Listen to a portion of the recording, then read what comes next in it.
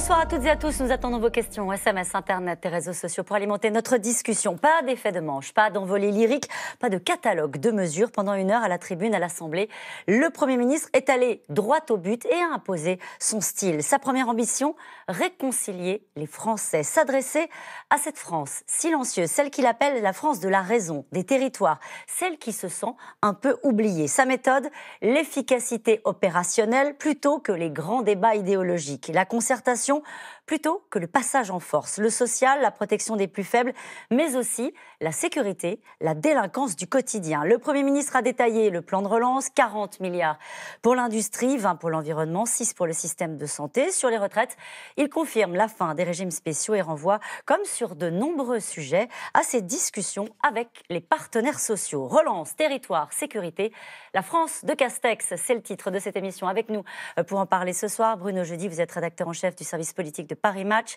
Euh, selon un sondage IFOP à apparaître demain dans Paris Match, Jean Castex recueille l'approbation de moins d'un Français sur deux. Nous y reviendrons. Fanny Guinochet, vous êtes journaliste spécialiste des questions économiques et sociales. On vous retrouve euh, tous les jours dans la matinale de France Info. Nathalie Saint-Cric, vous êtes éditorialiste à France Télévisions. Enfin, Jérôme Fourquet, euh, vous êtes directeur du département opinion de l'Institut de sondage IFOP. Vous venez de publier une enquête avec Marie Gariazo, Gariazo c'est ça, ça. Hein, sur les Français confinés, intitulé En immersion. Et puis rappelons votre ouvrage, L'archipel français, aux éditions du Seuil. Bonsoir à tous les quatre. Bonsoir. Euh, merci de participer à ce C'est dans l'air en direct. Alors si certains en doutaient encore, il y a bien un Premier ministre à Matignon. Oui, il y a Hein un Premier ministre à Matignon et même euh, il a affirmé un peu un style aujourd'hui quand même. Euh, C'était son discours de politique générale. Discours de politique générale, c'est le moment où on, on jauge un peu les capacités d'un d'un homme à se mettre dans la fonction. Euh, il y a tout un rituel, il y a un discours qui est important, il y a ceux qui font très long, il y a ceux qui font long, il y a ceux qui font court. Lui, il a plutôt fait une heure, tout pile, et il a bien ramassé son, son propos. Euh, c'est un style très direct. Alors là, il n'y a pas d'effet de manche, vous le disiez, pas de lyrisme, il cite pas les auteurs. Euh, Alors lui, c'est concret, c'est assez efficace dans la, dans la façon de présenter les choses. Et surtout, euh, il y avait un côté, c'était très bien construit. hein. La relance économique, la crise sociale, la transition écologique. Les territoires, comme maintenant on dit toujours, j'aime pas ce mot-là, mais enfin bon voilà. Qu'est-ce qu'il faut dire Euh, pff, Les régions, les départements, les, régions, mairies on dit les régions, voilà, les régions, les communes, Euh, et puis un gros chapitre sécurité pour clouter tout ça. Et euh, globalement, la feuille de route est dense. Il fera sûrement pas tout. Mais en tous les cas, c'est bien, c'est bien posé, euh, les pieds euh, dans le- cette France du bon sens euh, et de la raison, puisque c'est ça, c'est sa formule. C'était pas du raffarin parce que c'est un peu plus sec et moins rond que du, que du raffarin. C'est pas du rocard non plus, mais il y a un peu du parler vrai. hein. Les guet-apens, les violences atroces, ignobles. Il est allé très très fort sur la, sur la sécurité. Ouais, et à l'arrivée, l'examen de passage est plutôt, est plutôt réussi. Euh, en tous les cas, si hier le président euh, Emmanuel Macron a plutôt eu du mal à trouver son chemin, manifestement, Jean Castex, il sait, euh, euh, il sait où il veut aller. Et maintenant, on va voir les actes et les, pro- les promesses de projets de loi qui seront déclinés dans les mois qui Et viennent. on va détailler parce qu'il y a eu beaucoup d'annonces, notamment économiques, sur les détails du plan de relance, mais sur le style, un mot, Fanny Guinochet. C'est vrai qu'au début, quand il est arrivé, on l'appelait quand même l'inconnu de Matignon. Mais euh, très pragmatique, hein. Ouais. effectivement, l'efficacité. Il s'adresse à la France qui réussit, mais aussi à la France qui réussit un peu moins, qui a des difficultés, qu'on n'entend pas, qui est silencieuse, qui vit la crise ou qui va la vivre de, plein fouet, celle qui a peur du déclassement. L'inverse de la France de la mondialisation, des start-up, de la sta- Start-up Nation version euh, Emmanuel Macron. Donc c'est bien complémentaire, c'est aussi complémentaire de l'allocution d'hier du président de la République. Euh, il donne des précisions sur, euh, sur des choses qui étaient restées très floues. On va en reparler, mais le plan de relance, effectivement, les retraites, par exemple, où là, il dit attention, on va bien séparer en deux parties ce qui est de la réforme systémique et des- de la réforme de financement. Et puis, euh, il s'adresse aux territoires et aux partenaires sociaux. Alors là, c'est l'ode aux syndicats, patronat, après euh, des années de, de quinquennat Macron où ils étaient quand même vraiment relégués, mis de côté un peu moins ces derniers temps avec les Gilets jaunes, où quand même le gouvernement s'était dit finalement il vaut mieux avoir des intermédiaires que euh, d'avoir une opposition frontale comme ça dans la rue. Mais je n'ai pas calculé le nombre de fois où il a cité le mot À chaque chapitre. mais quasiment à chaque chapitre, en renvoyant à la réunion de vendredi avec les partenaires sociaux qui va être un, un sommet social. On se demande combien de temps elle va durer parce que tellement il y a de sujets, ils vont y passer plus que la journée. Et on y reviendra, vous avez raison, c'est un des dossiers majeurs, hein, urgents, euh, la question des retraites, à la fois le financement et puis le corps même de la réforme, les régimes spéciaux, etc. Réconcilier les Français. Il a eu une grande tirade, on va l'entendre dans quelques instants, euh, pour réconcilier ces France, ces France si différentes, ces France qui se voient plus, euh, ces France qui se comprennent plus. On dirait qu'il a lu le livre de Jérôme Et je pense qu'il l'a lu. C'est-à-dire qu'en gros, il est effectivement, Fanny vient de le dire, le complément. C'est il a ce que Emmanuel Macron n'a pas, et probablement il n'a pas ce qu'Emmanuel Macron a. C'est effectivement, il n'y a pas de lyrisme. On a droit à chaque fois des citations dans les discours, que ce soit Guillaume Apollinaire ou d'autres écrivains. Là, c'est effectivement des choses concrètes. C'est-à-dire l'intendance ne suit pas. C'est-à-dire là, c'est une phrase pour le coup du général de Gaulle, mais il a fait, il a été extrêmement dur sur le constat de ce qui ne marchait pas en France. Et quand vous parlez des deux France à réconcilier, lui, il parle des zones grises, il parle de juges de proximité, il parle des tags, il parle des endroits dans les petites villes où les gens il parle des gens qui se taisent mais qui n'en pensent pas moins. Ça. Donc il est là pour parler de cette France invisible. Alors on a tous, il y a eu un certain nombre de théories sur ces invisibles, ces gens qui ne parlent pas, mais il est là pour essayer de les ramener à la politique et leur montrer qu'on s'occupe d'eux, alors que quelquefois Emmanuel Macron est plus stratosphérique. Et il n'aimait pas les unes contre les autres. Hein. Non. La France des banlieues, des quartiers, mais aussi la France il rurale. Il ne joue pas les élites contre voilà. les autres. Il sait très bien que c'est. De toute façon, on est dans un, une, une, période post-gilet jaune où on a intérêt à rattraper, le gouvernement a rattrapé les gens qui ne votent pas, les gens qui ne, sont contre Emmanuel Macron et les gens qui considèrent qu'ils ont été abandonnés. Donc lui, il avait encore un peu plus d'accent aujourd'hui que d'habitude. Il a effectivement ce côté un peu rond et il est, euh, il rit pas souvent, mais il paraît qu'en privé il est très drôle, mais il est carré, il est solide, il est concret comme vous l'avez dit, il est pragmatique, il parle des, de la vie du quotidien. C'est étonnant parce qu'habituellement, un discours de politique générale, c'est vrai que c'est là qu'on fait référence à ses auteurs, euh, à son histoire politique, à son chemin. Là, on a quelqu'un qui assume le côté je serai là pour que les choses marchent. Euh, je serai un super. Sans, sans, il dit je ne suis pas un porteur de valise, je ne suis pas un collaborateur, mais je serai dans l'efficacité. Il ne veut pas qu'on le prenne parce qu'il y a un certain nombre de papiers dans la presse du genre il n'y a plus de Premier ministre, c'est un collaborateur, c'est juste le porte-serviette, le type qui va faire les trucs qu'on lui dit de faire. Donc ça, c'est probablement assez humiliant. Et dès le début, il a rectifié en disant attention, j'ai mon caractère. D'ailleurs, si on regarde bien dans les détails, les détails, il a obtenu un certain nombre de choses auprès d'Emmanuel Macron et c'est lui qui a gagné. Donc c'est pas du tout un obscur haut fonctionnaire ou petit fonctionnaire. Simplement, il la joue sérieux et il fait le contrepoint de ce qu'on a eu peut-être un peu parfois trop avec le chef de l'État. Donc il se il se complète, bien. Mal, ouais. euh, il, je sais qu'il existe une France qui ne dit rien, qui n'en pense pas moins, une France de la raison que nous devons écouter. Alors effectivement, euh, je pense qu'il a, il a en tête euh, les 60% d'abstention aux dernières municipales. Hein, cette France qui a décroché complètement, à la fois à cause du Covid, mais pas seulement. Et là aussi, euh, cette France qui a été choquée par le massacre du, chauffeur de bus à, Bayonne. Et donc il vient de, cette France périphérique, de cette France rurale. Il a sans doute en tête les regards, les, échanges qu'il a pu avoir avec des, Français de la rue, des Français lambda, euh, qui euh, ont du bon sens, qui voient les choses et qui, euh, sans doute, ont parfois le sentiment que ce qui se traite dans les hémicycles ou ailleurs est vraiment très très loin de leur, de leur réalité. Donc il est là, sans doute pour ça, pour essayer de recréer le lien, retisser le lien. Quand Emmanuel Macron s'y essaye, on voit que ça ne fonctionne pas toujours euh, très bien, c'est pas toujours très heureux quand on passe un coup de fil à, à Bigard ou quand euh, on appelle tel ou tel. Et donc là, on a nommé quelqu'un qui va euh, essayer de recréer du lien et surtout qui est à la tête d'un gouvernement de mission. Nous sommes là pour 600 jours et ouais. il a pointé à plusieurs reprises l'impuissance publique, hein, qui est euh, un des ferments du populisme et de la montée des, des votes radicaux, en disant il faut que ce que vous votiez, messieurs les parlementaires, ouais, soit clair, euh, appliqué parce que jusqu'à présent, on n'en voit que des effets très très dilués. Et donc, il faut que ça change. Et moi, qui connais l'appareil d'État de l'intérieur, je suis là pour être à la fois le relais de ces Français silencieux et du bon sens, mais également le, celui qui va être le, le chef d'orchestre et qui va faire en sorte que les rouages, les uns après les autres, soient, seront C'est comme ça qu'ils comptent réconcilier les Français avec la politique, en leur montrant que ça sert à quelque chose. Voilà. Et vous avez raison, ça avait été évoqué par euh, euh, Emmanuel Macron lors de, de l'un de oui. ses discours pendant la crise du Covid. Il expliquait que l'État manquait de réactivité, d'agilité. Et il a eu cette phrase, Jean Castex, il a dit il est urgentissime de faire évoluer le logiciel de l'action publique, euh, l'exécution, la mise en œuvre, l'efficacité opérationnelle plutôt que le débat politique. Oui, c'est le grand échec d'Emmanuel Macron depuis le début du quinquennat, qui a tout tenté, euh, euh, le conseiller dernier kilomètre, euh, le, les, les, objets de la vie quotidienne. Bon, il a vraiment essayé de, de, faire en sorte que les décisions qui étaient prises par l'exécutif se traduisent concrètement sur le terrain. Or, lui-même reconnaît, d'ailleurs il l'a souvent expliqué en privé, euh, à tel endroit on lui dit, mais alors lui il croit que ça, a été voté, que c'est en place, ce n'est pas en place. Donc on sent bien que euh, l'une des, euh, l'une des missions de Jean Castex, c'est de redonner de l'efficacité à la parole publique. Encore une fois, à mon avis, il ne pourra sûrement pas tout faire, mais il doit y avoir un certain nombre de, de, signaux où ça marche. Mm. Et à mon avis, vu le discours qu'il a prononcé, c'est essentiellement sur la sécurité que ça va se jouer. On va en parler de la sécurité. Il ne leur vend pas aux Français, à nous tous, une grande réforme de l'État. Non. Il dit on va appliquer les choses et ça se fera au plus près du terrain et tous les deux mois, j'irai voir si ça marche.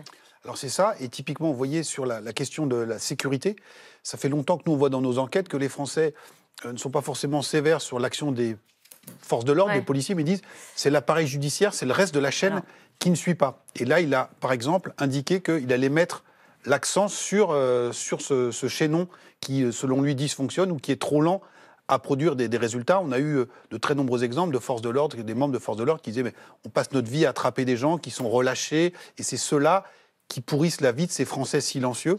Et donc, euh, je pense que Castex, dans sa tête, a tous ces éléments, tous ces paramètres. Et on va y revenir vraiment sur la, sécurité, mais je voudrais qu'on l'écoute d'abord. Jean Castex, le président, n'en avait pas dit un mot, vous avez raison. Et le Premier ministre s'est emparé des sujets, notamment celui euh, de la sécurité, de l'ordre public, avec la promesse d'une réponse ferme à la délinquance du quotidien. Un discours d'une heure, sans fioriture, axé sur la réponse à la crise. Sa méthode euh, est sur ce message appuyé, on l'a dit, à la France, de ceux qui n'ont pas le droit à la parole. Ce sont les mots euh, qu'il a utilisés. Pierre Barbin, Juliette Vallon et Thomas Buyer. La parole est à Monsieur le Premier ministre. Pour Jean Castex et son nouveau gouvernement, le compte à rebours est lancé. Il reste 600 jours pour redresser le pays. Mais le Premier ministre veut d'abord le fédérer. Il y a beaucoup de France qui se sentent loin et laissées pour compte. France des banlieues, France rurale, France des Outre-mer, France dite périphérique, France de ceux, y compris au cœur de nos villes, n'ont pas droit à la parole. Ces France-là sont notre pays autant que la France de la réussite économique, scientifique, industrielle ou culturelle, dont nous sommes légitimement fiers. Au cœur de cette nouvelle feuille de route, le vaste plan de relance de 100 milliards d'euros annoncé la veille par Emmanuel Macron, avec un enjeu principal, retrouver la souveraineté industrielle. Nous sommes aujourd'hui trop dépendants de nos partenaires extérieurs et insuffisamment présents sur certains secteurs stratégiques. Nous consacrerons, dans le cadre du plan de relance, 40 milliards d'euros pour que cela change. Et selon les souhaits du gouvernement, la relance sera résolument verte. 20 milliards d'euros seront consacrés à la croissance écologique. En tête des mesures de rénovation thermique et un plan vélo ambitieux. L'écologie, l'écologie n'est pas l'apanage d'une génération, d'une classe sociale, des quartiers de certaines villes ou d'un parti. L'écologie, c'est notre affaire à tous. Elle doit être créatrice de richesses. Je crois en la croissance écologique, pas à la décroissance verte. Mais la première priorité pour Jean Castex et son gouvernement concerne l'emploi des jeunes. Premier impératif, favoriser l'embauche. L'État y aidera, comme l'a annoncé le chef de l'État, avec un dispositif exceptionnel de réduction du coût du travail à hauteur de 4 000 euros par an pour les jeunes de moins de 25 ans jusqu'à 1,6 SMIC dans toutes les entreprises et pour une durée d'au moins un an. Une heure de discours et plusieurs annonces, surtout économiques. Mais le Premier ministre veut aussi renforcer l'autorité de l'État. Les violences, la banalisation de la délinquance du quotidien sont autant de faits inacceptables qui exaspèrent à juste titre les Français. Ils appellent, ils appellent une réponse de l'État ferme et sans complaisance. À la sortie, l'opposition dénonçait un discours sans ambition.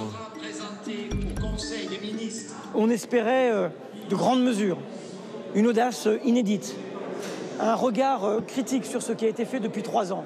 Et dans la meilleure des hypothèses, il nous dit euh, nous allons remettre en place ce que nous avons dérangé. Mais au-delà de ça, euh, je dois vous dire qu'il n'y a pas grand-chose. On est nombreux à ne pas voir où est le nouveau chemin. Bon, bien sûr, euh, il y a quelques éléments, quelques touches euh, sur l'écologie, les pistes cyclables, le verdissement, on a bien entendu. Mais en réalité, où est le nouveau chemin? Enfin, on a vraiment l'impression qu'on est dans la continuité euh, de la politique euh, qui est suivie euh, depuis euh, trois ans. Pour les plus anciens d'ici, ça commence à me rappeler Raymond Barre avec Giscard et ça lui a pas porté bonheur. Lui aussi, c'était un Premier ministre inconnu, euh, soi-disant le meilleur économiste du monde. Lui, c'est soi-disant le meilleur technocrate euh, de France. Euh, et euh, je pense que ça, le, le quinquennat va être très difficile, la fin du quinquennat va être très difficile pour ce gouvernement. J'engage la responsabilité. Dès vendredi, Jean Castex réunira les partenaires sociaux pour fixer les nouvelles orientations du gouvernement. Un discours de politique générale très applaudi ou normalement applaudi? Normalement applaudi. hein. Pas- d'ovation. Petite ovation. Si, si, il y a une ovation quand même à la fin de la part des députés de la, de la majorité. Euh, euh, si euh, il n'y aura pas de suspense sur le vote de la confiance, euh, on est. euh, On disait qu'il y avait des états d'âme dans la majorité. Il n'y en a plus. Il y a des états d'âme dans le groupe. Peut-être qu'il manquera quelques, quelques voix au moment du décompte, mais bon, là, globalement, il, il a touché les cases qu'il fallait. Et la case qui était surtout importante, c'était celle de la transition écologique. Et ça, ça devrait rassurer les députés de la majorité. Beaucoup de questions ce soir sur euh, la sécurité. Combien avant Castex nous ont parlé de sécurité sans que rien ne change, sauf dans le mauvais sens? Bah, beaucoup. Hum. C'est, pour le coup, comme disait tout à l'heure euh, Jérôme Fourquet, la sécurité, c'est le symbole de l'impuissance de l'État depuis au moins euh, trois décennies. Euh, on va dire qu'hormis peut-être la période Nicolas Sarkozy, qui avait euh, sans doute réconcilié une partie des Français avec l'efficacité de la parole publique, parce que les gens avaient le sentiment qu'il s'était passé euh, des choses. C'est d'ailleurs un moment où, euh, entre la hausse de la délinquance des années euh, Jospin et, la baisse qui suit, euh, il y a des résultats. Depuis, euh, c'était assez, c'est assez compliqué. Et surtout, depuis, il y a, il y a ce sentiment que euh, les gens sont relâchés, sont arrêtés. D'ailleurs, il a une formule, il dit il faut mettre fin euh, à ce sentiment d'impu- d'impunité aux incivilités. Et c'est, pourquoi il charge le, le nouveau ministre de la Justice de, de s'enquérir de ce, de, ce, de ce dossier. Mais on sent qu'il va, il, mise, il met beaucoup du, de, son, de son poids de nouveau Premier ministre Ouais. et de son expérience de l'appareil de l'État sur la question de la sécurité, au moins autant que pour la relance économique. J'ai trouvé que dans la proportion et dans, le- et dans l'engagement de Jean Castex, j'ai trouvé que c'était très très fort. Et ils ont bien compris qu'actuellement l'opinion euh, euh, s'inquiète beaucoup de la détérioration euh, de, de, de, de la sécurité euh, en France. Peut-être que les récentes et nombreuses euh, euh, libérations euh, dans les prisons françaises, parce que les chiffres ont singulièrement baissé, ils sont pour quelque chose. Parce que là, actuellement, il y a un nombre de, de, de- de faits divers euh, très choquants pour les Français. Bayonne, encore ce qui s'est passé Mm. les nuits dernières à Cannes, je ne sais plus où. Enfin, il y a eu des villes où encore il s'est passé des choses. Et les violences dont il a des- parlé systématiquement lors des manifestations qui choquent aussi beaucoup les Français. Donc, avec cette idée de lutter contre la banalisation de la violence, qui sont des faits inaccess- inacceptables et qui exaspèrent les Français. Il le prend pas par le haut, là. Non, non, il, Et euh, il le prend par le quotidien. le euh, quotidien en disant, et donc c'est euh, ce chauffeur de bus, il, parle du, il commence sa phrase avec les tags. Oui. Donc, ça commence par des tags, et donc il est dans sa petite ville de Prades, il voit cette France silencieuse qui est complètement euh, abasourdie et stupéfaite, que cette France qui, qui ne dit rien mais qui n'en pense pas moins en disant de toute façon ça ne sert à rien d'appeler la police, ils ne viendront pas, ou les types seront relâchés derrière. Au moment où il s'exprime, la veille, il y avait une rave party qui était euh, interdite, et donc on a envoyé une, ministre, parce que euh, Mme Schiappa est ministre, pour rappeler les consignes de distanciation sociale. Et donc, euh, je pense que toute la France a regardé euh, de manière soit euh, un peu ricanante, euh, soit stupéfaite, euh, les photos qui. Voilà, en disant, mais la force de l'État euh, n'est plus aujourd'hui euh, utilisée. Et c'est la, la justice qui l'a interpellé. Et c'est la justice en disant euh, les forces de l'ordre font ce qu'elles peuvent, mais il faut qu'ensuite il y ait la réponse pénale qui, qui suive derrière, d'où euh, les moyens qui vont être financiers qui, et humains qui vont être donnés à la justice, à la fois les tribunaux, mais aussi la pénitentiaire, pour que les peines soient appliquées avec euh, aussi cette euh, mesure de juge de proximité. Voilà, ça c'est serait- une annonce, ça existe déjà. C'est euh, les juges de proximité alors, sans doute- spécialement affectés à la, répress- à la répression de ces incivilités. Voilà, donc je pense que, alors ça, je pense pas que ça existe sur ce terme-là, D'accord mais donc c'est la volonté d'envoyer un signal à l'opinion en disant on va s'occuper de ça. Vous savez, il y a très long- il y a quelques années maintenant, euh, il y avait un maire de New York qui avait la théorie du carreau cassé. Euh, Giuliani s'appelait-il. Euh, et donc là, un peu, c'est un peu la même idée, c'est-à-dire on va plus laisser euh, des choses impunies et on va traiter à la base, à niveau à hauteur d'homme, un certain nombre de faits qui, aujourd'hui, pourrissent le quotidien de nos concitoyens. Et donc, si jamais il parvient à avoir des résultats là-dessus, Bruno Jeudi le rappelait, c'est pas forcément euh, une mauvaise affaire parce que euh, les Français aujourd'hui sont revenus de pas mal de choses et ils ne jugent que sur les actes. Et donc, si en matière de sécurité et de justice, on voit, mais c'est court, hein, deux ans, euh, des, des améliorations, au moins on lui, on, lui, on lui créditera ça. Avec ces mots très clairs, très simples, de soutien aux forces de l'ordre. Ah oui, il a été très clair dès le début, de toute façon, y compris dans la première sortie qu'il a pu faire. Il est plutôt sur une ligne, je ne veux pas dire qu'il est sur la ligne Valls, parce que comme vous parliez d'un certain nombre de premiers ministres qui avaient affiché une volonté de tolérance zéro, Valls était dans ce cas-là. Et là aussi, elle a un point qu'il a marqué, à mon avis aussi, c'est de la laïcité. On a toujours accusé Emmanuel Macron d'avoir été super flou sur la laïcité, même si c'était un petit peu. Alors, ce n'était pas un discours, mais on attendait des actes précis. Il a chargé euh, Castaner de régler les choses, rien ne s'est produit. Et là, on nous annonce un projet de loi dès septembre sur, euh, Contre les... les... séparatistes. Alors, les séparatistes, c'est un mot qui a été employé dans une allocation, allocution pardon, de 20 heures d'Emmanuel Macron, notamment contre le. Alors, est-ce que c'est le séparatisme? C'est les communautés qui s'organisent entre elles et qui ne vont, veulent pas s'intégrer dans la République en réclamant un certain nombre de droits. Il y a la fameuse expression qui a été réutilisée par Gérald Darmanin l'autre jour en disant la loi est supérieure à la foi. Et c'est une espèce de petite musique qu'on avait assez peu entendue de la part d'Emmanuel Macron, mais qui commence à remonter très fort chez Jean-Michel Blanquer, Gérald Darmanin et chez Jean Castex également. Donc ça, c'est quelque chose, le couple sécurité-laïcité, c'est quelque chose qui, à mon avis, va vraiment être mis en avant. Et c'est pour moi une sorte de tournant par rapport à ce qu'on avait pu entendre avant. Pourquoi un tournant? Ben, un tournant parce que si, euh, d'abord, c'était quelque chose qui n'était pas considéré comme essentiel ou important aux yeux de l'exécutif, Édouard Philippe, ça lui, non pas ça lui cassait les pieds, mais il trouvait que c'était pas la chose primordiale à faire. Emmanuel Macron, qui avait une vision assez libérale, euh, de, considérait au début que finalement, si on laissait prospérer différentes communautés entre elles, ben, c'était peut-être une vision à l'anglo-saxonne, c'est-à-dire où on peut avoir. changer la loi de 1905. Exact. Alors, il a toujours été un peu comment dire, là-dessus, vision très mondialisée anglo-saxonne. Et là, on a une sorte de vision troisième république de, Castex, qui d'ailleurs en a un peu l'allure parfois, et sa façon, dans sa façon de s'exprimer à l'Assemblée nationale. avec une déclaration d'amour à la République. Hein. Oui, mais voilà, et ça va avec. ça va avec. alors, on l'a déjà entendu. On l'a entendu chez Manuel Valls, on l'a moins entendu chez Edouard Philippe. Là, on verra en septembre s'il se passe quelque chose, puisqu'il y a un rapport qui a été remis euh, au Sénat sur un certain nombre, sur l'islam. Il a cité l'islamisme politique.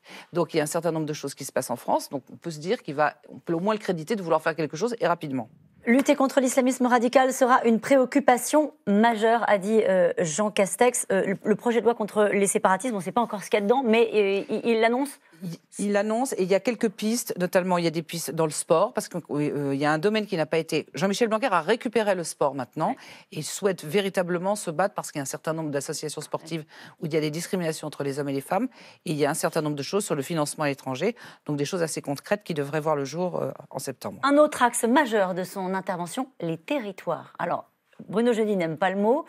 Euh, en tout cas, il l'a beaucoup euh, utilisé. Euh, tout part de là. Tout part de là. Pour la relance, tout part de là dans la manière de faire de la politique désormais. C'est la proximité. C'est le mot au-delà des territoires. c'est la proximité. C'est à la fois montrer que l'État se décline concrètement, par des mesures concrètes. Et il y a quand même des mesures de la vie du quotidien. Hein. Par exemple, euh, les repas à 1 euro pour les étudiants boursiers, euh, c'est facile à comprendre, euh, c'est simple, c'est le quotidien. Et puis, effectivement, se rapprocher des territoires. Et ce qui m'a frappé, c'est qu'il parle beaucoup du département qui était plutôt un territoire qu'on avait l'impression dans le millefeuille euh, territorial français entre les régions, les métropoles, la commune. Le département, c'était plutôt le territoire qui était négligé. Bah, on voulait même le supprimer. On voulait le supprimer, voilà. Et, et là, il remet l'accent sur le département parce qu'il y a un côté social. Le département, c'est euh, la zone territoriale qui s'occupe du social, qui euh, gère le RSA, le revenu de solidarité active, qui gère l'aide sociale à l'enfance, qui est quelque chose aussi dans la proximité. Là, évidemment, il fait en politique, euh, il fait plaisir aux élus, notamment aux, élus du département, mais c'est pas c'est pas neutre qu'ils choisissent euh, ce, ce cran-là. C'est le gaullisme social. C'est le gaullisme social, voilà. C'est la façon de montrer, regardez, on va être dans la sécurité, mais la sécurité, ça passe aussi par la protection.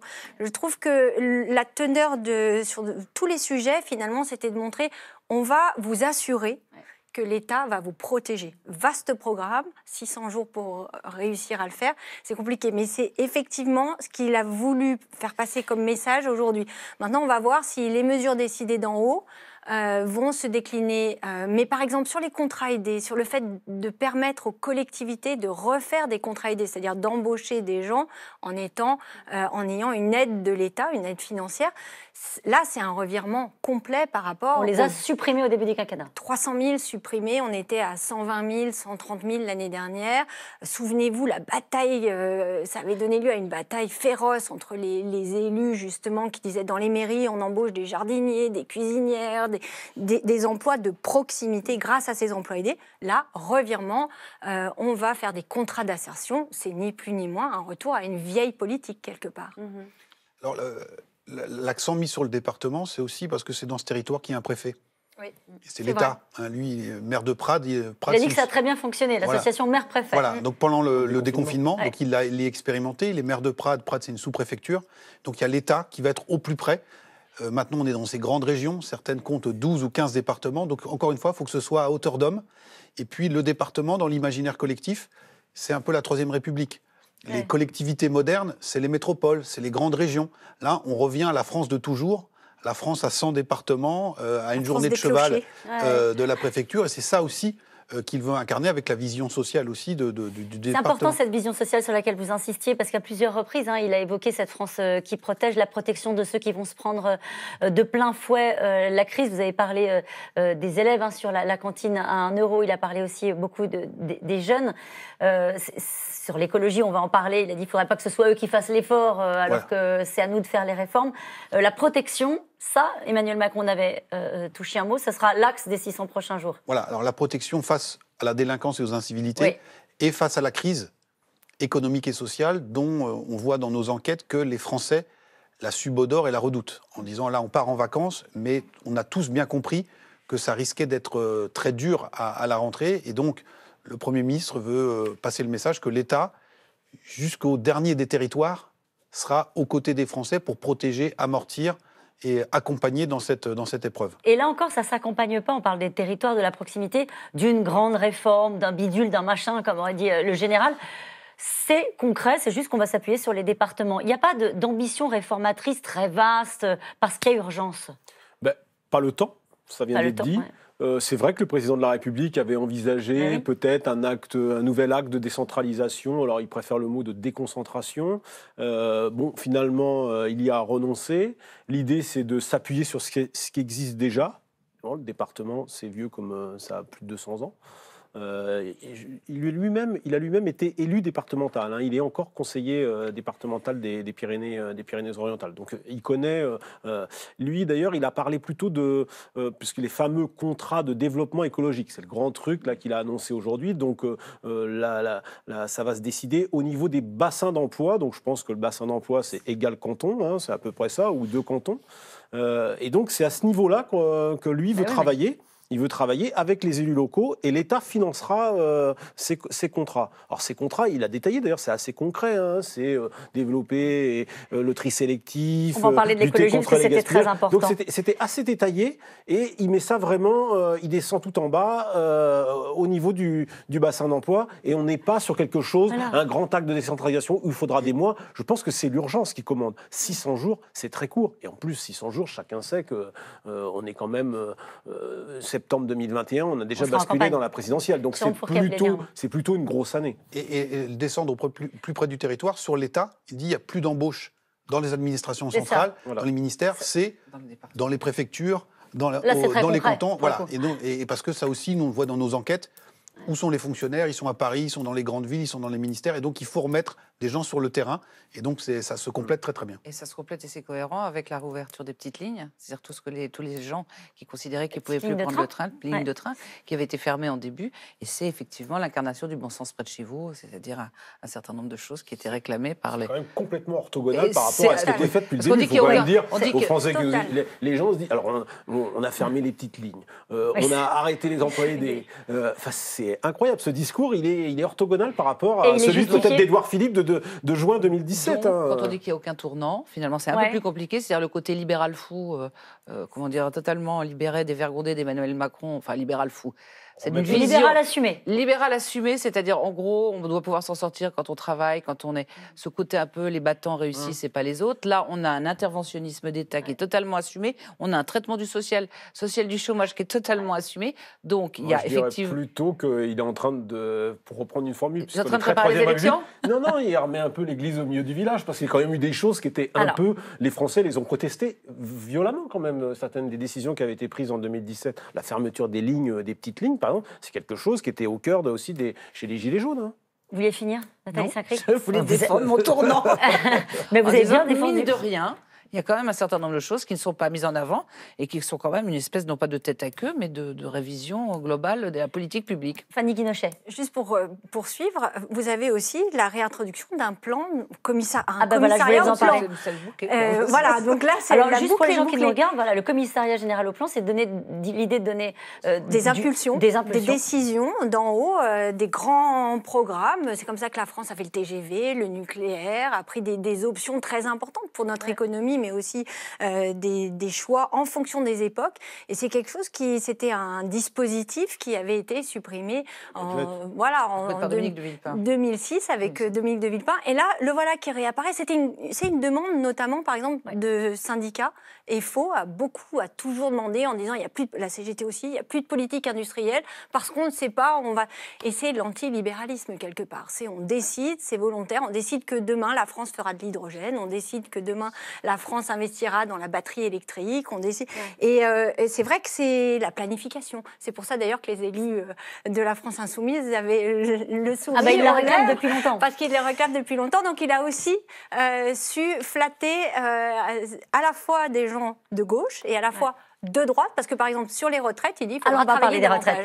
Euh, sur, le, sur le commissariat général au plan, il parle donc de la loi de programmation annuelle, notamment de la recherche, avec 25 milliards qui seront mis dans euh, la recherche publique pour les dix prochaines années. Là aussi, c'est l'idée d'anticiper sur une politique industrielle innovante euh, pour les années qui viennent. Le sujet était attendu, vous venez d'en parler à l'instant.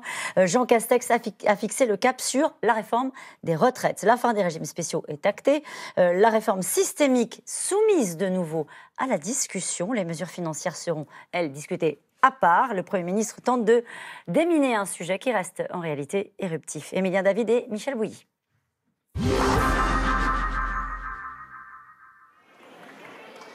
En matière de retraite, la crise nous invite plus que jamais à poursuivre nos objectifs vers un système plus juste et plus équitable, notamment pour les femmes et les travailleurs modestes, passant par la création d'un régime universel. La réforme des retraites n'est pas morte. Et le nouveau Premier ministre le martèle. La fin des 42 régimes est pour bientôt. Un terrain miné, car tous les partenaires sociaux ont déjà averti, ils ne veulent pas rouvrir le dossier des retraites en cette période de crise. Ce dossier, qui est source d'un conflit, c'est pas le moment. La priorité, les priorités, ça doit être l'emploi. On ne va pas se remettre à se foutre sur la gueule sur la question des retraites dans cette période. C'est euh, centaines de milliers de jeunes qui vont arriver sur le marché du travail. 700 000. Qu'est-ce qu'on leur dit? Qu'est-ce qu'on leur dit? Attendez, on s'occupe de la retraite? Une union sacrée, qui s'étend même jusqu'à la principale organisation patronale. Et je trouve que se précipiter cet été, comme ça a été, euh, semble-t-il, la demande du président de la République, pour euh, renégocier euh, autour de ce sujet, qui est un sujet anxiogène, ne me paraît pas la bonne priorité. Mais pour le gouvernement, il y aurait urgence, une urgence budgétaire. Selon une estimation du Conseil d'orientation des retraites, la crise du coronavirus va aggraver le déficit du système en 2020. Il pourrait grimper à 30 milliards d'euros, au lieu des 4 milliards initialement annoncés. L'exécutif a cependant promis de revoir la copie de sa réforme. Elle ne peut pas se faire comme elle était emmanchée avant la crise du Covid. Ce que le Premier ministre va devoir faire avec euh, les membres de son gouvernement compétent et les partenaires sociaux, c'est de définir le calendrier pertinent qui permet d'être lucide. Nous- nous savons tous ce qu'il en est de la réalité. L'exécutif n'a pas précisé les contours de cette nouvelle réforme. Mais des pistes ont été évoquées dans les colonnes du Parisien ce week-end. Le journal fait état d'une note confidentielle de la direction de la sécurité sociale qui évoque plusieurs réformes alternatives, comme par exemple une clause du grand-père généralisée. Le système universel par points ne s'appliquerait qu'aux nouveaux entrants sur le marché du travail, ceux nés après 2004. ou encore des mesures d'âge. L'âge légal de départ à la retraite pourrait être relevé de 62 à 64 ans.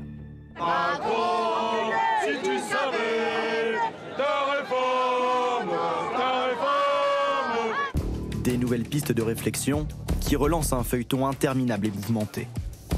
Présentée en septembre dernier, cette réforme a provoqué un mouvement social historique. La plus longue grève de l'histoire de France finit par pousser le gouvernement à lâcher du lest. Mi-janvier, Édouard Philippe annonce le retrait de l'âge pivot. Je dirais que ce soir, nous avons bien avancé dans la recherche du compromis que nous souhaitons obtenir. Pour ralentir l'adoption de la réforme, les députés d'opposition lancent une offensive à l'Assemblée en proposant des milliers d'amendements.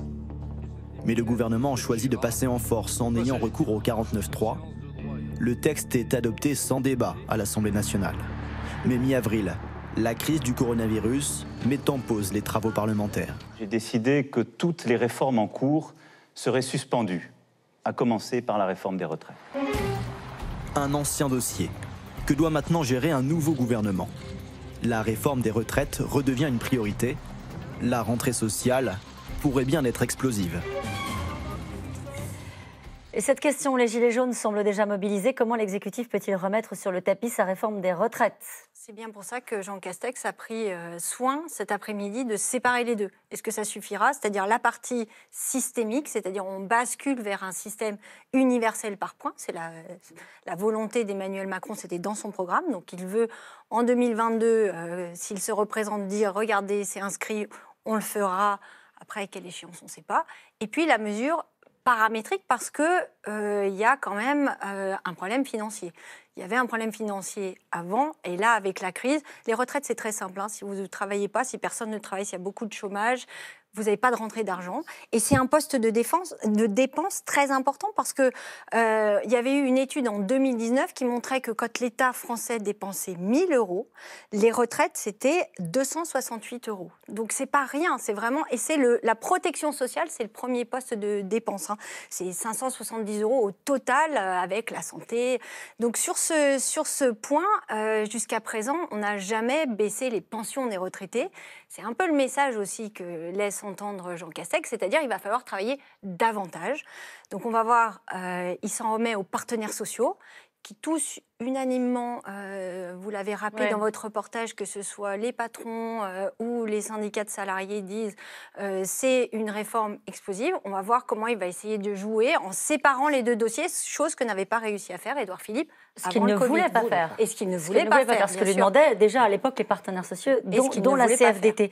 Euh, sur les régimes spéciaux, il, il Il- prend la peine de dire qu'il supprimera les régimes spéciaux. Oui, ça c'était pas un scoop. Voilà. La, la question c'est à quelle Parce que les régimes spéciaux, est-ce qu'il les quid des gens qui sont encore euh, bénéficiaires de ces régimes? C'est la fameuse clause du grand-père. Il a dit une Il a l'air de, hein. oui, il a l'air de laisser entendre que ça se négocie. Donc, euh, il n'a pas envie de remettre euh, dans la rue euh, un certain nombre de, de, de professions qui sont bénéficiaires des régimes spéciaux. D'ailleurs, la CGT appelle déjà à une manifestation 17. début, dé- début septembre à la rentrée. Donc, le message, il est aussi très clair. Il veut s'éviter ça, ce qui serait euh, par ailleurs catastrophique pour l'économie, alors qu'elle repart euh, doucettement. Mais alors là, vous avez un certain nombre de commerces et de restaurants. S'il y a de nouveau des mouvements sociaux, ça serait délétère économiquement aussi. Alors pour financer tout ça, pas de hausse d'impôts. Là, il est vraiment, euh, il a calé ses pas sur ce- ceux du, du chef de l'État. Oui, il est resté euh, évidemment sur la ligne fixée par le chef de l'État. Pas de hausse, euh, pas de hausse d'impôts. On avait parlé éventuellement d'un retour de l'ISF. Certains avaient parlé, euh, y compris dans la majorité d'ailleurs, hein, avaient parlé aussi d'une contribution spéciale des, des hauts revenus. À rien de tout ça. Euh, il y aura même, euh, alors le- la seule chose, c'est euh, le report de la suppression de la taxe d'habitation pour euh, les 20% qui la paient en encore aujourd'hui. Il n'en a pas parlé, mais enfin le président l'a dit Ouais. hier. Donc on sent que sur la question des impôts, hop, il n'y a pas de hausse d'impôts. Donc ce qui veut dire quand même qu'à l'arrivée, parce que Fanny vient de le dire, les contraintes financières pèseront quand même un moment, un moment ou un autre. C'est pour ça que le président de la République sur le dossier des retraites est quand même euh, embarrassé, puisque euh, euh, veut à la fois sa réforme par points Mais vis-à-vis de l'Europe, il a quand même quelques obligations euh, à euh, euh, réformer euh, les retraites. Ça fait d'ailleurs partie, ça fait un lien avec Ouais. ce qui va se passer le week-end prochain. Parce qu'aujourd'hui, pour obtenir ce fameux plan de relance européenne que la France, la France a convaincu l'Allemagne d'aller maintenant vers cette mutualisation des dettes, vers ces, ces subventions, 750 milliards, hein, c'est une, sacrée somme. Pour obtenir ça, les pays, pour faire voter tous les pays, les pays qu'on dit radins, c'est pas très joli, mais enfin on les appelle comme ça, donc les Hollandais, les Autrichiens, Ou les bons Suédois, gestionnaires, c'est voilà, ça. Ou les bons gestionnaires, eux veulent justement que les États du Sud Ouais. fassent des réformes. Et il y a les retraites sur la table. Donc euh, Ma- Emmanuel Macron, il est quand même obligé de continuer à avancer. De, de- il a donné mission à, à Jean Castex de poursuivre la réforme des retraites avec les difficultés que Fanny vient d'évoquer. On voit vraiment pas comment il peut euh, euh, aboutir pour l'instant, compte tenu du, du, du mur euh, qu'il a de- devant, devant lui. Mais à la fois, il y tient en termes de symbole pour, par rapport à, à son programme de 2017, et deuxièmement, parce qu'il a la pression aussi euh, euh, de l'Europe et d'un certain nombre d'États qui Il disent faut afficher on des donnera, réformes. on donnera l'argent. C'est quand même 40 milliards hein, pour la France, le plan. euh, euh, le- si le plan passe, c'est 40 milliards, ça finance quasiment 40% de, des 100 milliards annoncés par le président. Il a détaillé le plan de relance, euh, Nathalie Saint-Cric.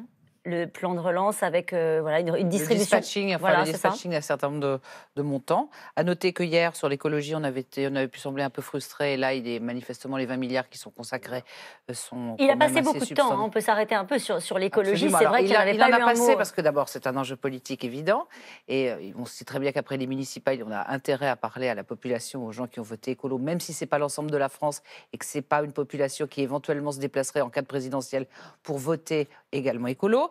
Il a refait un- le seul moment où il y avait un petit peu d'esprit politicien dans sa démarche, c'est quand il a dit en gros qu'il n'était pas l'écologie pour lui c'était de l'investissement et c'est pas la décroissance. Il dit Je crois à la croissance écologique, pas voilà. à la Et là, il a, décroissance eu- verte. il a ébouché un petit sourire du genre, ah, ah, on n'est pas comme, je suis pas comme vous. Mais à côté de ça, il a été une fois de plus à la fois concret en donnant des montants et concret, on l'a dit tout à l'heure, en parlant des plans qui pourraient être faits à l'échelon local, c'est-à-dire que, en gros, c'est pas on va être écolo, c'est rénovation thermique. Vous allez travailler, vous allez nous voir ce que vous nous proposez. Les pistes cyclables, vous allez nous dire ce que vous nous proposez. Il a, repris beaucoup de propositions de la Convention citoyenne, y compris sur les pub- la publicité. Ça, c'était assez étonnant, Ah quand oui, même. parce qu'en plus, c'est pas trop son genre. Enfin, on pouvait imaginer que c'était pas exactement son genre. Donc, Alors, c'est quoi allé- sur la publicité pour, euh, Pour les- expliquer aux gens qui l'ont pas vu c'est la, la publicité des- pour les, tout, tout ce qui est polluant et qui peut être une incitation. Alors, ça peut aller des grosses cylindrées à un certain nombre de choses. Et donc, il y a pas mal d'emprunts dans les propositions de la Convention citoyenne. Et ça, c'est euh, le, le volet, enfin, à mon avis, qu'il a développé euh, de façon notoire, alors qu'hier, Emmanuel Macron était passé un peu plus rapidement dessus, parce qu'il a l'air de rien, mais il fait quand même de la politique. Moratoire sur l'installation de nouveaux centres commerciaux. Plan vélo ambitieux. Là aussi, ça part d'en bas. C'est dans les communes, etc. Régulation de la publicité pour réduire l'incitation à la solaires, Panneaux consommation. solaires, également panneaux solaires. C'est-à-dire, c'est, c'est le panneau solaire sur les toits des villes, enfin des maisons, c'est des choses concrètes. Et qui- Certaines choses existaient quand même déjà. Oui. Le plan vélo, euh, là, ils nous l'ont remis Mais- alors qu'on l'avait déjà eu. hein. Oui, mais On recycle. Oui, oui, on Recycle. recycle. Il y a des choses qui sont recyclées qui existent déjà. Euh, Jérôme Pourquet, sur l'écologie. Oui, donc on- effectivement, donc c'est une, une vision très très concrète. Et là aussi, un peu comme ce qu'on disait tout à l'heure sur la sécurité, euh, les Français aujourd'hui sont globalement convaincus qu'il faut faire des choses, mais ils restent sur leur faim en disant on reste toujours dans les grandes euh, Mm. considérations de principe. Et donc là, le, le Premier ministre marque encore sa, sa- sa différence en disant voilà, ça va être très très concret, ça va être tant de bâtiments. euh, on aura sans doute aussi des choses sur les circuits courts et l'alimentation, euh, sur, sur tous ces sujets-là, pour montrer que la vie quotidienne des Français va changer et qu'ils vont pouvoir constater de leurs propres yeux que des choses se font et qu'on n'est pas uniquement dans les, les grands sujets. Parce que juste pour revenir sur la, la- la question des, des retraites, Oui. il va y avoir euh, deux problèmes en termes d'opinion, euh, de compréhension. C'est-à-dire, d'une part, on a un chômage qui va augmenter, on va dire aux Français, bah, il va falloir travailler plus longtemps alors qu'on fait beaucoup d'efforts pour euh, l'insertion des jeunes sur le marché du travail, même si on sait que ce n'est pas forcément euh, un système de vase communicant, mais dans l'opinion, c'est comme ça que ça marche. Et puis, sur ces valses de milliards, beaucoup de Français ont retenu l'idée que quand on voulait, on pouvait. Ouais. Et donc, euh, au moment de 2008, pour sauver les banques, on a mis les milliards. Là, pour relancer la machine, on a mis les milliards. Et donc, quand on va dire il faut faire la réforme des retraites parce qu'il manque 30 milliards, beaucoup de Français vont dire mais on n'est Bah, plus, à 30 prenez-les, ouais. on n'est plus à 30 milliards près hein, sur la, la somme euh, faramineuse qui a déjà été annoncée. On peut, les, on peut, on peut bien euh, en mettre un peu plus. Donc, ça va être compliqué à faire comprendre ça. Et il a essayé d'ailleurs de faire comprendre ça aux Français en, en- en différenciant les, les- les dépenses. Il a dit dépenser en transformant, euh, c'est de l'investissement pour l'avenir. C'est pas exactement la même chose que éponger sûr. de la dette sociale. Justement, il n'a pas oublié le sérieux budgétaire. D'ailleurs, à un moment, il le dit, hein, la nécessité de garder un sérieux budgétaire. De la même façon, la dette euh, spécifique, exceptionnelle du fait de la crise, de la pandémie, c'est la dette Covid qui sera isolée. Quelque part, c'est une forme de dire, bon, bah, euh, il faut pas, on, on va l'écarter, on la remboursera à très très long terme, euh, on va voir quels vont être les dispositifs qui seront pris. Mais c'est question de, de dire, le message euh, qu'il qu'il voulait faire passer, c'est attention, on ne va pas dépenser l'argent magique, ça Ah, n'est pas ça, on ne va pas dépenser sans compter, on reste très sérieux sur euh, la ligne budgétaire, on va faire attention et on fait bien attention avec la dépense avec transformation, c'est-à-dire avec réforme, et puis la dépense sans transformation, c'est-à-dire la dépense courante, la dépense de fonctionnement. On l'a pas dit jusque-là, enfin euh, peut-être pas suffisamment. La priorité de Jean Castex, comme celle d'Emmanuel Macron, c'est l'emploi.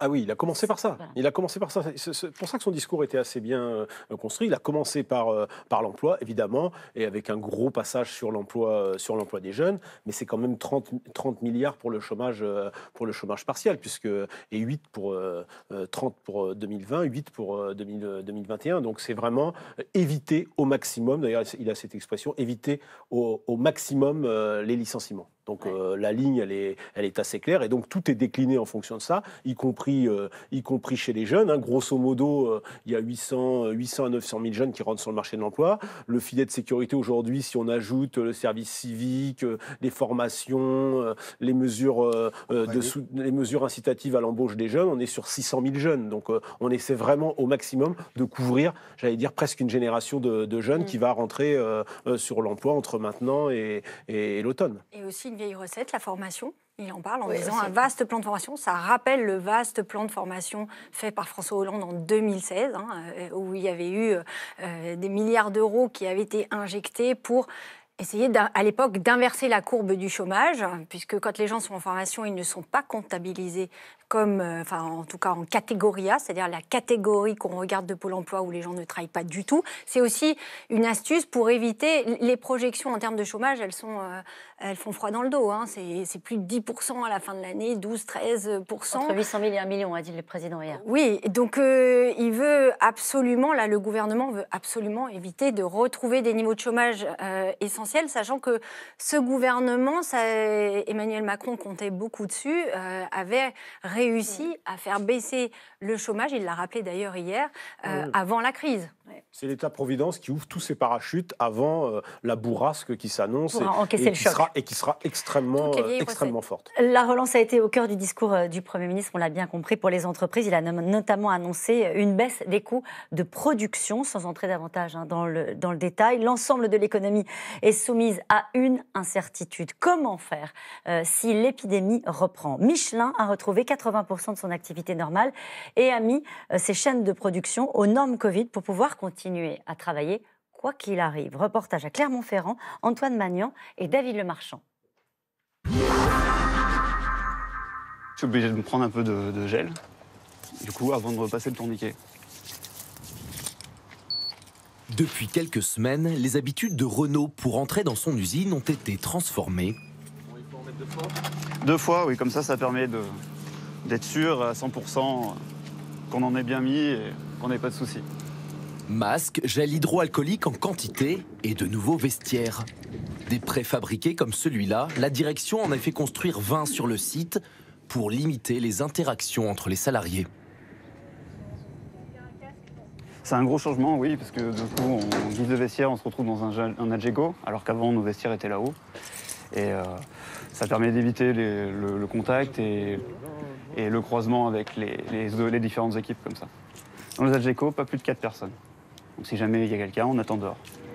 Dans le fief de Michelin à Clermont-Ferrand, cette usine produit des milliers de pneus par jour et emploie 750 salariés qui se relaient 24 heures sur 24. Alors, une fois sur sa ligne de production, ce n'est pas fini pour Renault.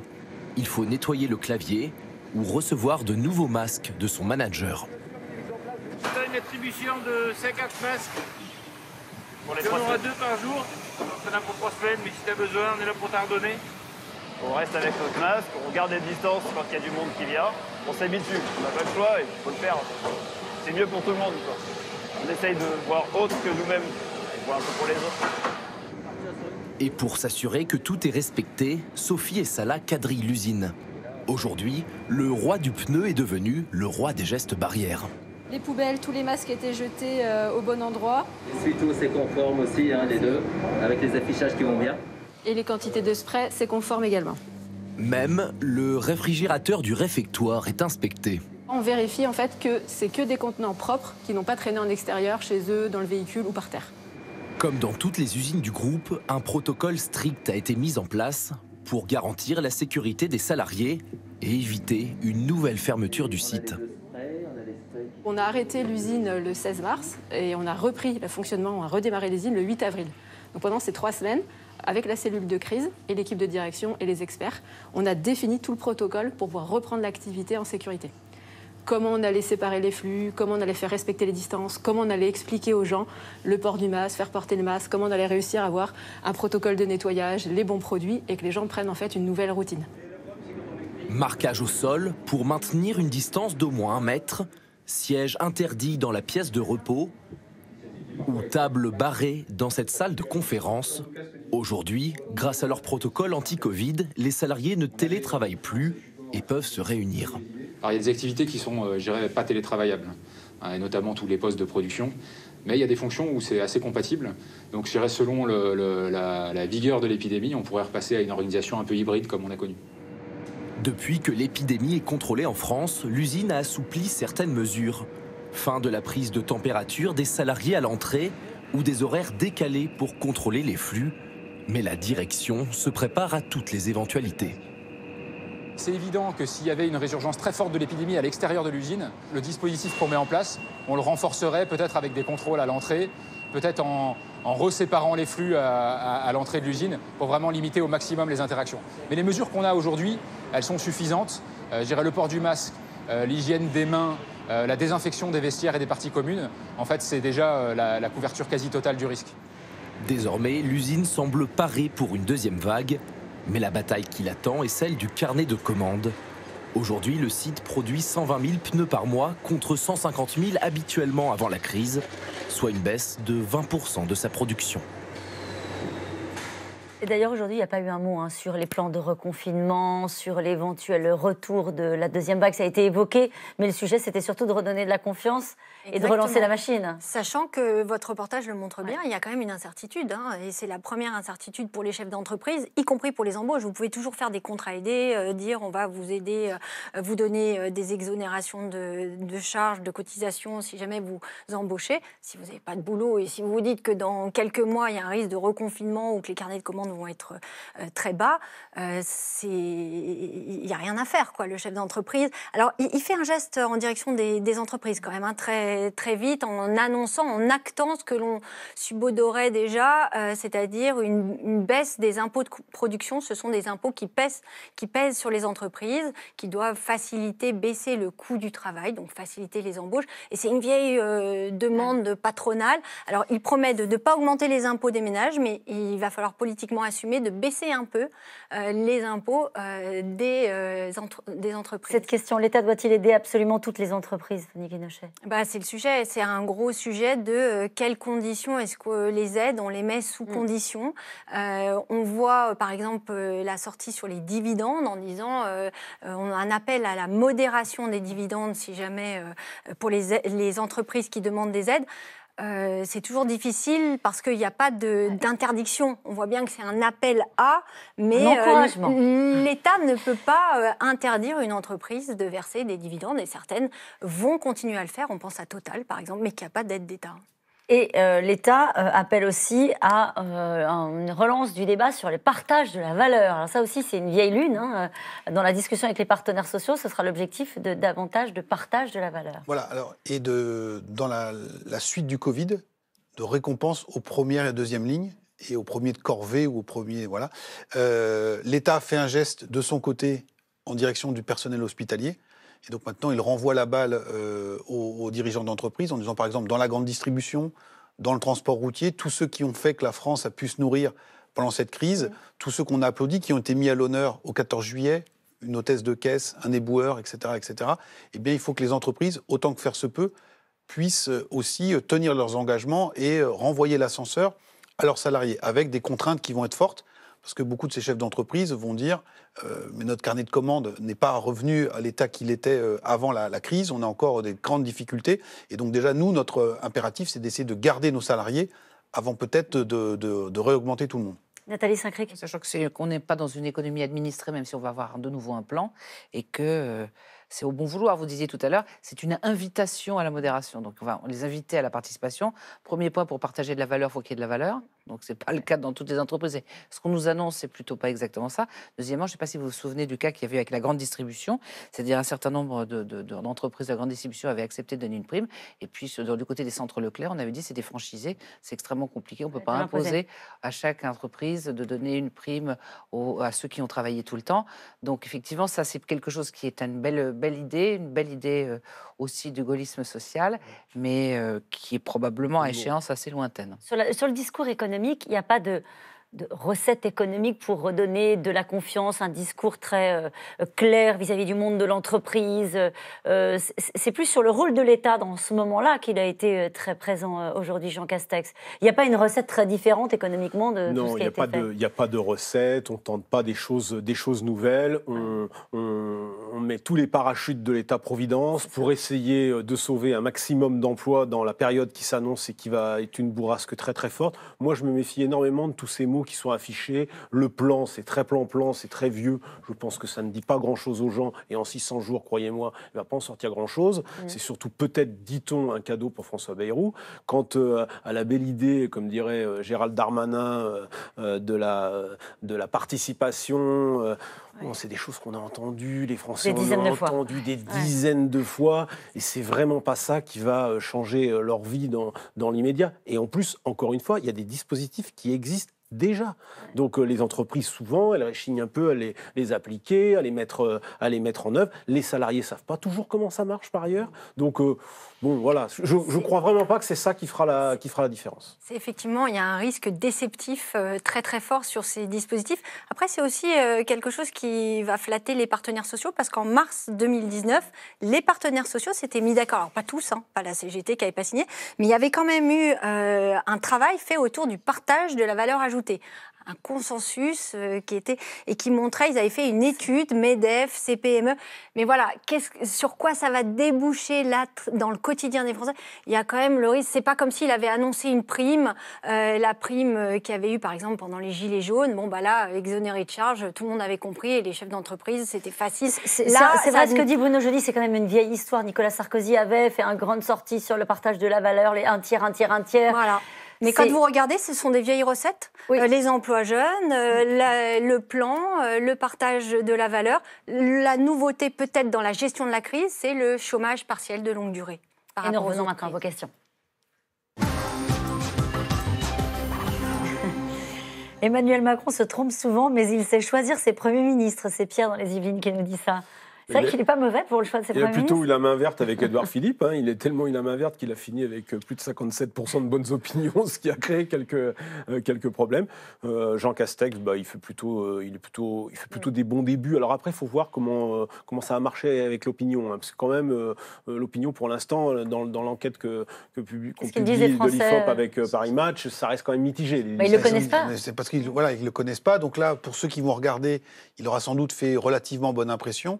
Encore une fois, comme on disait tout à l'heure, on juge, aux, on juge aux actes et on juge sur pièce. Donc il faudra voir dans les mois euh, qui suivent ce qui Je se. disais ça, Jérôme, juste en comparant, puisque euh, 47% pour la première mesure euh, donc constatée par euh, l'IFOP, c'était euh, c'était 10 points de plus pour Manuel Valls, qui est le deuxième Premier ministre de François Hollande. On est plutôt au niveau de Dominique de Villepin. Voilà, si on veut comparer un peu les, les premiers ministres. Donc on est plutôt dans le plancher bas, Dominique de Villepin, Jean Castex. Plancher haut, c'était Manuel Valls. Ça avait bien marché au début, Manuel Valls. Mais qui après, était connu vu- aussi, Valls. Qui était Oui, connu, voilà. C'est ça. Euh, Castex euh, n'est-il pas sur, sur son style l'anti-Macron? Ah oui, il l'est, il l'est. C'est pour ça qu'il a été choisi. C'est pour ça que ça, que ça peut éventuellement marcher. Et c'est pour ça aussi qu'avec son côté je protège tout le monde, enfin cette espèce d'idée de protection, parce que ce qu'on n'a pas dit tout à l'heure, c'est qu'en fait, il prie le ciel que les gens consomment. Donc il leur dit ça va s'arranger parce que si les gens consomment pas dès cet été, c'est-à-dire tout ce qui a été épargné, euh, peut-être de façon excessive, si c'est pas désépargné et que les gens se disent ça va être la catastrophe à la rentrée, il faut qu'on mette tout à la banque et qu'on n'achète rien, ça va être une catastrophe. Donc le, le côté Castex gentil qui protège tout le monde, et voilà, c'est c'est uniquement pour, enfin c'est pas uniquement, mais c'est ça, ça doit sa servir aussi à fonction. ça. C'est de dire allez-y, on vous lâchera pas, euh, continuez. C'est effectivement pour ça que c'est l'anti-Macron qui peut de temps en temps avoir été anxiogène. L'homme a les épaules larges, mais la charge n'est-elle pas trop lourde? On va voir. On va voir, On ouais. va voir. Euh, pour l'instant, euh, c'est vrai qu'il il prend les, les rênes du pays à un moment où c'est quand même extrêmement compliqué. Il l'a dit au tout début, euh, c'est une, une crise comme on n'a pas vu depuis une crise sociale et économique comme on n'a pas vu depuis l'après-guerre. Donc, euh, il prend pas de risque, c'est le bon père de famille qui dit attention, les dépenses, elles vont être contrôlées. Attention, on va bien vérifier que les décisions qui seront prises, elles arriveront bien dans les territoires, elles vont toucher le quotidien. Vous, et vous puis, on fait jusqu'à les- dire qu'il n'y a pas de souffle?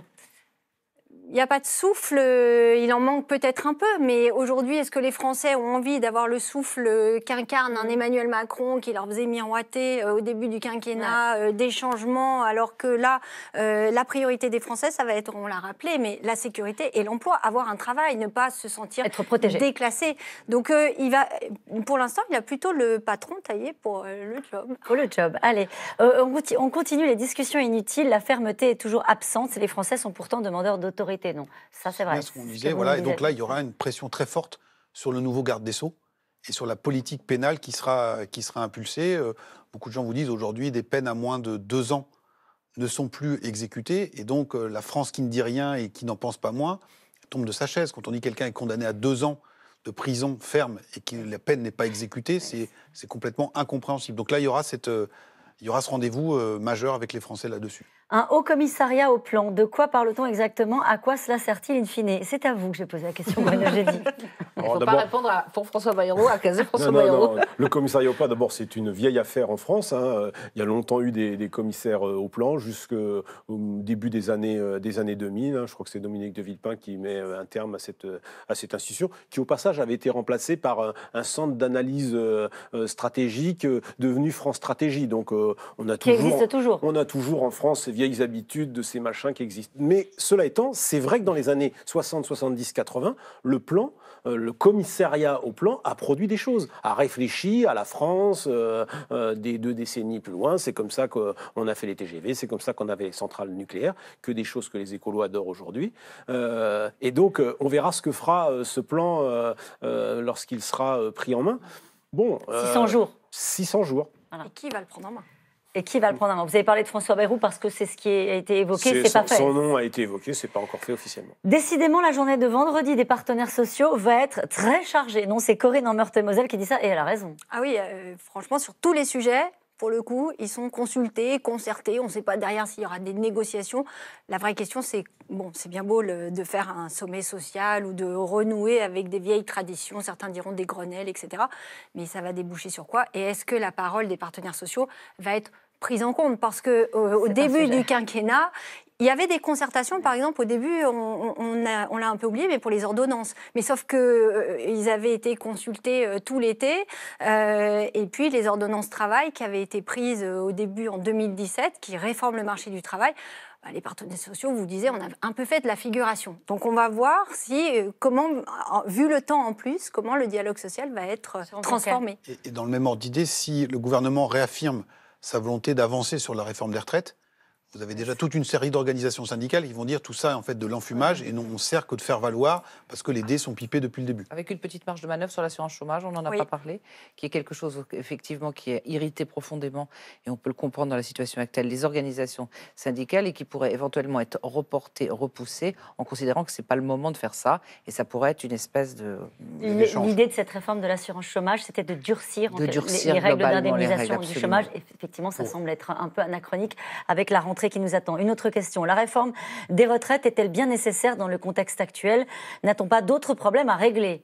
C'est ce que disent si, les syndicats. Voilà, euh, effectivement, la priorité, c'est l'emploi. Mais les deux sont quand même liés, parce que quand vous avez moins de gens qui travaillent, vous avez moins de cotisations qui remplissent les caisses de retraite.